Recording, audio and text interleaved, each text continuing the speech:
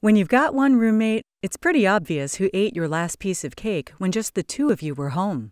In the 1990 case of Eaton versus Eaton, we examine a case in which the circumstantial evidence surrounding a car accident is also rather undeniable. Late one night in May of 1984, Donna Eaton and her mother Sandra were heading home from Newark, New Jersey on Route 24. The two lane highway was dry and the weather was clear. However, their car struck a guardrail, flew 50 feet in the air, flipped over, and landed on its roof after colliding with some trees. Damage to the passenger side was bad, but it was minimal on the driver's side. Donna's shoe was wedged under the brake pedal. Sandra's feet were trapped in the collapsed passenger footwell, and first responders had to extricate her from the car. Sandra was taken to a local hospital and later died. Before her death, Sandra told police that her daughter had been driving.